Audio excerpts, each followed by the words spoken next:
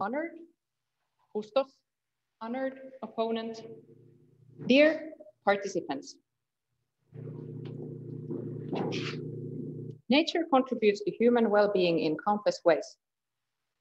Many of us enjoy spending time in nature, going for a walk, for a picnic, and observing, observing species and seasons changing. Nature-based tourism and outdoor recreation are evident examples of direct benefits of nature to people.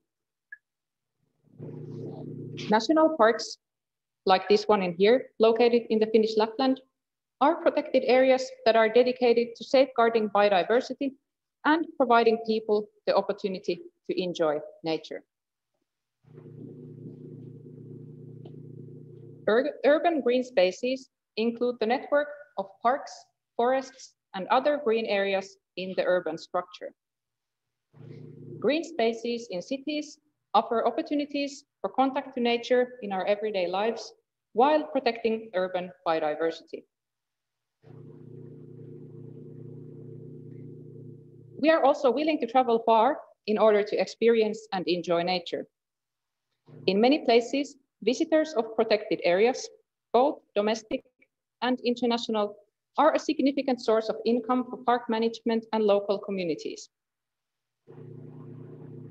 Information about protected area visitors is important for planning and management of re on regional, national, and international scales. The ongoing pandemic has emphasized the importance of access to green spaces in everyday life. In Finland and many other countries, national parks and green spaces are attracting record numbers of visitors. However, in many regions, visiting green spaces has become more restricted due to regulations and international travel has decreased dramatically, at least for now, having an impact on global nature-based tourism. The Global Protected Area Network on land and sea is a key instrument in conserving biological diversity and ecosystem services on Earth. Despite, act despite active efforts to protect the global environment, human activities continue to cause significant declines in nature. Understanding how nature contributes to people's well-being is a key aspect for finding successful solutions that support the protection of biodiversity and sustainable and equitable land use planning.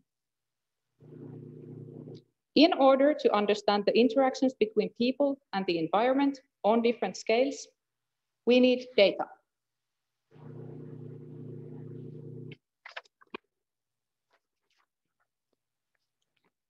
Remote sensing data, such as satellite images, have revolutionized the collection of data about the natural and built environment. But how about data on human activities? Information about visits to protected areas can be collected, for example, using surveys and on-site counters. However, gaps remain even in places with the most advanced visitor monitoring systems, and many regions lack visitor data completely. More recently, data generated through the interactions of people and location-based technologies, such as mobile phones and GPS devices, have provided new opportunities for analyzing human activities all around the world. For example, many of, many of us share our observations, activities, and even location publicly online through various social media applications.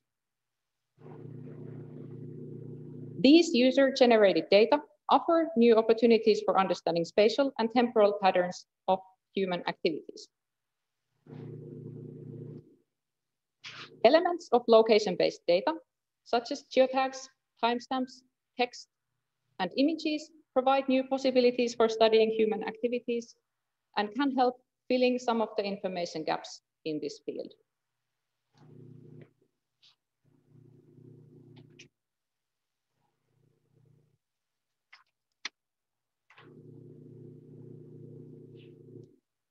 This thesis links to a broader context of understanding human nature interactions. From a holistic perspective, social and ecological systems are interlinked in complex systems. This thesis uh, zooms into the human side of the system by looking into human activities, human spatial behavior in nature. Social media and other user-generated data sources provide information first and foremost about people and their observations and activities. These data can also provide information about uh, the natural environment, such as species observations and land cover information. In my thesis, I have mainly focused on people's movements, activities, and values represented in the data. In this work, I investigated how well user-generated data reflect actual visits to nature. Digital data, in general, provide various perspectives about human-nature interactions beyond actual visits.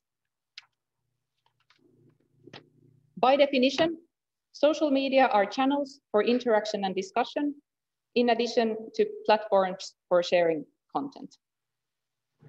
It is possible to raise awareness and to show interest in particular regions or animal species online without actually visiting nature. In my thesis, I focus mostly on those digital data that are potentially linked to actual visits through geotags or other references to location. For example, it is relevant to ask that if someone has geotagged a photograph into a national park, did they actually visit the place?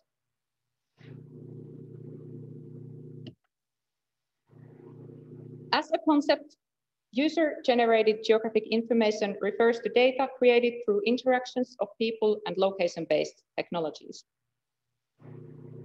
Examples of such data include geotagged social media posts, GPS tracks from sports applications, mobile network data, and other location-based data generated by regular people instead of government authorities or experts. In the geographic information science literature, the concept of volunteered geographic information and the idea of citizens as sensors, introduced by Goodchild in 2007, is often used to refer to geographic data generated by non-professionals.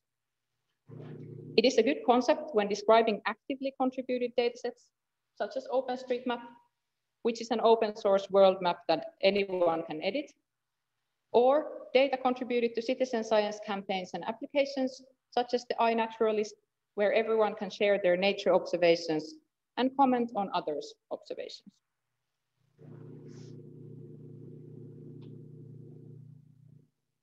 However, I would argue that the concept of volunteer data doesn't perfectly capture all kinds of user-generated datasets. When analyzing publicly shared content on social media or data from mobile network operators, we are using these data to other purposes than originally intended. From a research point of view, it is important to acknowledge that these data might not be actively volunteered for such purposes. The same applies to new datasets about human mobility that big technology companies have recently released to support analysis related to the COVID-19 pandemic.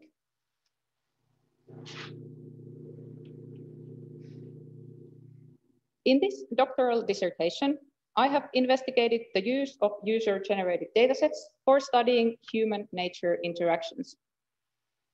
I focused on human activities and preferences in national parks and urban green spaces. Main objectives uh, of this work were to describe and critically evaluate the available data sources and methods, and to discover spatial and temporal patterns of human activities in nature in the study areas.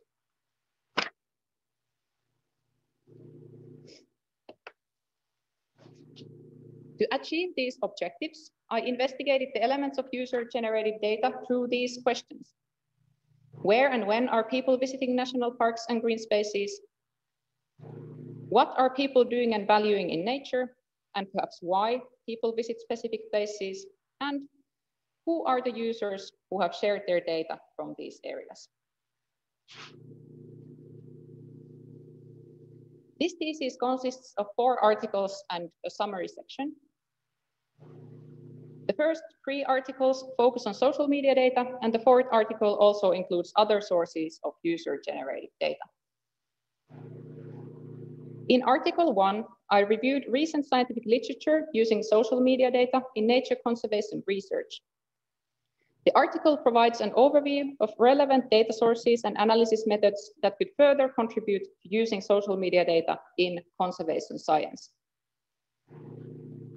In Article 2, I compared social media data and visitor survey data from Pallas Yllästunturi National Park in Finland. We observed similar trends in both data sources regarding popular activities and visited locations.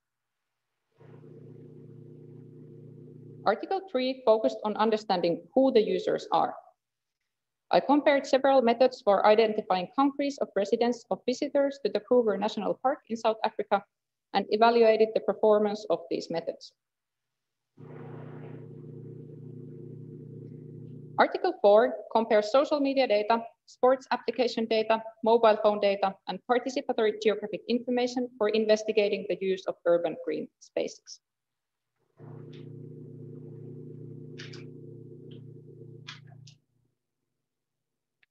Extracting meaningful information from user-generated datasets is an iterative process.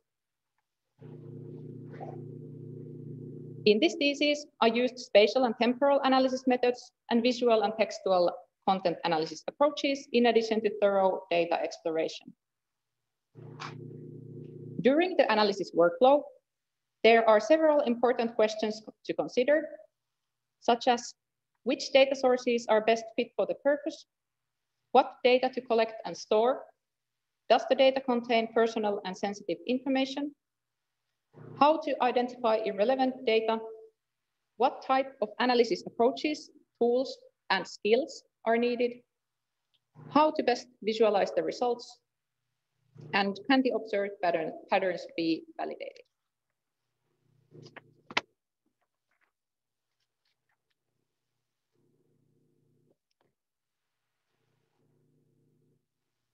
So where and where, where and when are people visiting national parks and green spaces? And how can we analyze these patterns based on user-generated data? Results in my thesis show that visitor flows and hotspots are visible in social media and other user-generated datasets on different scales. These data work best in popular destinations and lack of data doesn't necessarily mean the absence of visitors. The investigated datasets contain unique information about temporal trends of human activities. For example, these data can fill, in, fill information gaps in between less frequent surveys. Aggregating data over space and time not only preserves privacy, but, but also often reveals regional and periodical trends, even if the original data would be sporadic. For example, Relative changes in posting activity can reveal interesting and even surprising patterns. Content analysis of social media texts and images allows understanding activities and preferences from a new perspective. Manual content analysis in this thesis found that most content shared from national parks and green spaces contained relevant information. Activities detected from social media content reflected surveyed activities. This thesis also emphasizes the potential of automated content analysis approaches for acquiring further insights from large quantities of textual and visual content. Finally, understanding who have shared their data from national parks and green spaces is important but challenging. In this work, I, I, I identified approaches for deriving information about the users through further spatial and temporal analysis, as well as content analysis.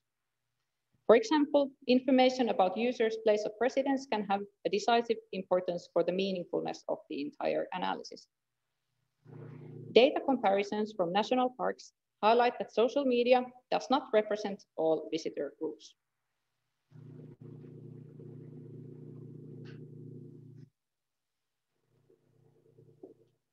Main challenges related to using these data include data quality, limited access to data, and privacy issues. Limited access to data affects the repeatability of the analysis and the execution of longitudinal research projects. Privacy issues cannot be neglected, neglected when analyzing uh, data where individual people can be identified. Minimizing the amount of data analyzed and aggregating the results, for example, over time and to larger geographical units, helps using this data in a privacy preserving way. Overall, researchers, practitioners, and decision makers need to consider several limitations if aiming to extract meaningful information from user-generated data sources.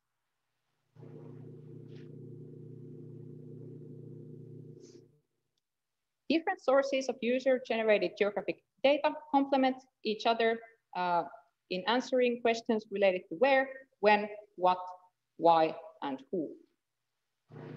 In this thesis, I propose that social media mostly captures being in nature, covering leisure time activities, while sports tracking data and mobile phone data reflect moving through parks and green spaces, including daily commuting patterns and sports activities. Participatory geographic information, such as map-based surveys, can be used to acquire more in-depth information related to values and preferences. Social media and other user-generated sources of geographic information are not able to fill in all information gaps related to understanding human activities in nature. However, if we understand the limitations of these data, they offer additional layers of geographic information to complement existing data sources and may inform further data collection efforts in less monitored areas.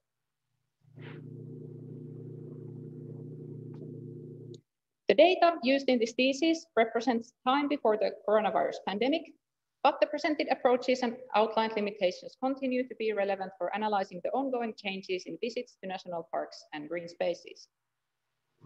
This thesis contributes to understanding how to extract meaningful information about human activities from the huge volumes of available data. User-generated datasets might be messy and unpredictable, uh, making their analysis challenging. At the same time, one of the strengths of these data sources is the potential to discover emerging patterns and trends efficiently. Even imperfect data, if understood as such, can contribute to integrating the value of nature into decision-making processes on different scales.